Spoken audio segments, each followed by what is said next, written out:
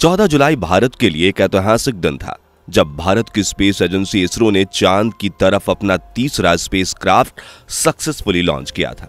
अगस्त 2023 को चंद्रयान तीन सफल लैंडिंग करने के लिए बिल्कुल तैयार है। इसरो से तीन दिन पहले रूस ने भी अपना लूना 25 चाँद की ओर भेजा था, जिसके बारे में खब, खबर आई है कि लूना 25 चाँद की सतह पर क्रैश हो गया है और रूस का मून मिशन फेल हो गया है।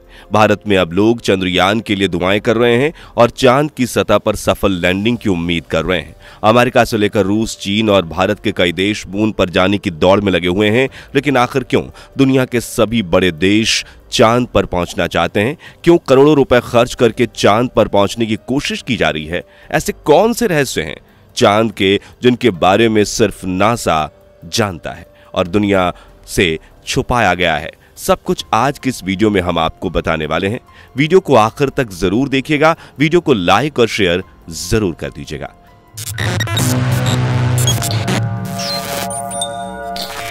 चंद्रयान तीन जल्द ही चाँद की सतह पर लैंड करने वाला है। इस वक्त भारत की स्पेस एजेंसी इसरो के साथ साथ पूरे देश की जनता की नज़र उसी पर टिकी हुई है। रूस के लूना 25 के क्रैश होने के बाद तो अब टेंशन और भी ज़्यादा बढ़ने लगी है। दोस्तों, चाँद के रहस्यों का पता लगाने के लिए भारत से भेजा गया यह तीसरा चंद्रयान है। इससे पहले चंद्रयान एक और चंद्रयान दो भी भारत ने सफलतापूर्वक पूरा किया था। चंद्रयान एक और दो में भी भारत ने चाँद से जुड़ी ऐसी अद्भुत बातों का पता लगाया था, जिनके बारे में जानकर दुनिया भर के वैज्ञानिकों में हड़कंप मच गया था। लेकिन चंद्रयान एक हमेशा ही भारत के लिए गौरव का किस्सा रहेगा, क्योंकि इस मिशन के दौरान भारत ने कई नए कीर्तिमान स्थापित किए थे, और यह भी पता लगाया था कि चाँद की सतह पर पानी है। मगर दोस्तों, चाँद पर पहुँचने की इतनी ज़्यादा दौड़ क्यों है? इसके बारे में भी आज हम आपको बताने वाले हैं। दोस्तों, पृथ्वी से चाँद की दूरी लगभग तीन लाख चौरासी हज़ार चार सौ किलोमीटर है, लेकिन जो रास्ता चंद्रयान ने चुना है, उससे चाँद तक पहुँचने में करीब बयालीस दिनों का समय लगेगा। यानी कि इस रास्ते से चंद्रयान तीन, पृथ्वी से चाँद तक लगभग तीस लाख किलोमीटर की दूरी तय करेगा।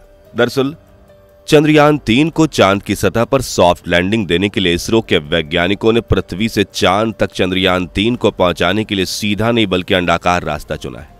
इस रास्ते में चंद्रयान ने पहले पृथ्वी के अंडाकार पथ पर चक्कर लगाए और अब चंद्रयान तीन चाँद की दिशा में अंडाकार घूमता हुआ उसकी सतह पर लैंड करेगा। वहीं अगर रूस और नासा की तरफ़ पृथ्वी से चाँद की तरफ़ सीधे रास्ते पर चलते हुए जाया जाए तो चार से पाँच घंटे में चाँद पर पहुँचा जा सकता है।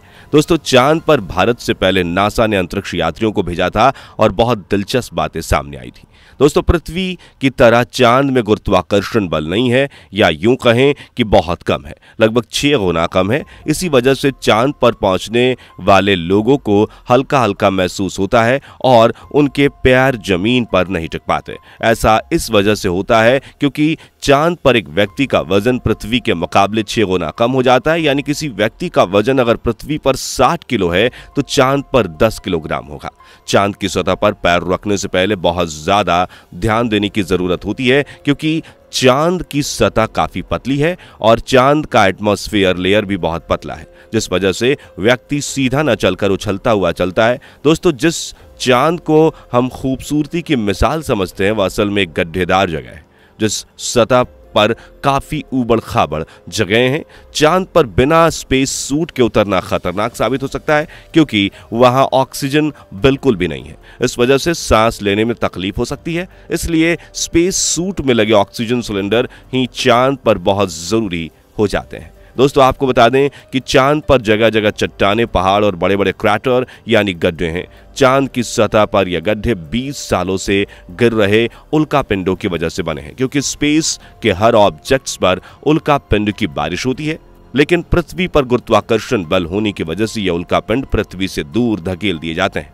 चाँद पर दिखने वाली ये गड्ढे 100 सेंटीमीटर से लेकर 25 किलोमीटर तक बढ़ जाते हैं। वही चाँद की मिट्टी, यानी लूनर, सॉल, बिल्कुल ज्वालामुखी से निकलने वाली राख जितनी पतली होती है। चाँद की इस मिट्टी का रंग भी पृथ्वी की मिट्टी से ज़्यादा डार्क है, बिल्कुल सीमेंट की तरह। इस मिट्टी में खुरदरापन ना होने की वजह से आप जैसे इस पर कदम रखेंगे, आपके पैर के निशान बन जाएँगे। चाँद पर सबसे पहले कदम रखने वाले एस्ट्रोनॉट नील आर्मस्ट्रॉन्ग और बज एल्ड्रीन के पैरों के निशान आज भी चाँद की सतह पर मौजूद हैं। चाँद की सतह से जब आप पृथ्वी को देखोगे तो यह बेहद ही खूबसूरत दिखाई देगी। दोस्तों, जिस तरह से पृथ्वी पर चाँद का उदय होता है, वैसे ही चाँद पर आपको पृथ्वी ढलती और उगती दिखाई देगी। लेकिन पृथ्वी से देखने पर एक तरफ़ जहाँ चाँद बहुत छोटा नज़र आता है तो वहीं दूसरी तरफ़ चाँद से पृथ्वी बहुत बड़ी दिखाई देती है। चाँद की सतह से देखने पर आपको अपने पृथ्वी उतनी ही खूबसूरत दिखेगी जितना खूबसूरत चाँद लगता है। पृथ्वी से देखने पर चाँद के उत्तरी ध्रुव पर पहले ही भी नासा के स्पेस क्राफ्ट जा चुके हैं। इसलिए अगर चाँद के उत्तरी ध्रुव पर कोई स्पेस क्राफ्ट लैंड होता है तो उन्हें वहाँ पुराने मिशन के स्पेस क्राफ्ट और सैटेलाइट के टुकड़े के साथ प्लास्टिक बैग में भरा हुआ कूड़ा भी दिखेगा। ये वही कूड़ा है जो नासा के बारह एस्ट्रोनॉट्स फेंक कर गए थे। इनमें उनके मलमूत्र और खाने की चीज़ों के पैकेट्स शामिल हैं, जो चाँद पर आज भी वैसे के वैसे ही मौजूद होंगे। लेकिन अगर कोई स्पेस क्राफ्ट चाँद के दक्षिणी ध्रुव पर लैंड करता है तो वहाँ पर आज से चार साल पहले चंद्रयान दो क्रैश होकर गिरा था, जो आज भी आपको उतनी बुरी कंडीशन में दिखाई देगा। क्योंकि क्रैश होने के बाद ना तो चाँद पर कोई बारिश हुई है, ना ही तूफानी बवंडर आया है। ऐसा इसलिए है क्योंकि चाँद की सतह इन चीज़ों के लिए नहीं बनी है। वहाँ वायुमंडल नहीं है। चंद्रयान दो का वो स्पेस क्राफ्ट अपनी आखिरी कंडीशन में आज भी मौजूद होगा, जिससे अगर दूसरे स्पेस क्राफ्ट की मदद से पृथ्वी पर लाया जाए तो उसे एक बार फिर से ठीक करके वापस चाँद के लिए रवाना किया जा सकता है।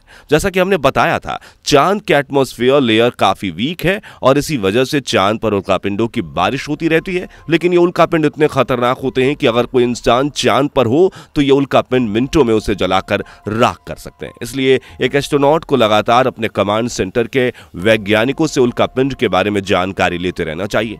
दोस्तों, चाँद को लेकर यूँ तो कई खुलासे नासा कर चुका है, लेकिन शायद आपको ना मालूम हो कि चाँद की सतह पर वातावरण ना होने की वजह से साउंड वेव भी नहीं है। यानी कि चाँद पर अगर दो व्यक्ति बातें करने की कोशिश करें तो वो नहीं कर पाएँगे, क्योंकि किसी को किसी की आवाज़ सुनाई नहीं देगी। यहाँ तक कि चाँद पर एक व्यक्ति अपने खुद की आवाज़ भी नहीं सुन सकता। इसलिए एस्ट्रोनॉट्स को उनके सूट में लगा वॉकी टॉकी दिया जाता है और नाइट्रोजन और ऑक्सीजन से फेक एटमॉस्फेयर बिल्ड किया जाता है ताकि साउंड वेव आ सके। दोस्तों, नासा ने चाँद पर इंसानों को भेजने के पहले मिशन में कामयाबी पाई थी। एक बार फिर, साल 2024 में नासा एस्ट्रोनॉट्स को चाँद पर भेजने की तैयारी शुरू कर चुका है। भारत भी इस फ़ील्ड में अपनी क्षमता दिखा रहा है। चंद्रयान एक की तरह चंद्रयान तीन के सफल होने को भी दुआएँ मिल रही हैं। और चाँद के रहस्यों को खोजने की कोशिश की जा रही है। चंद्रयान तीन ने अगर चाँद पर सफल लैंडिंग कर ली तो यह भारत के लिए बहुत ही गर्व की बात होगी।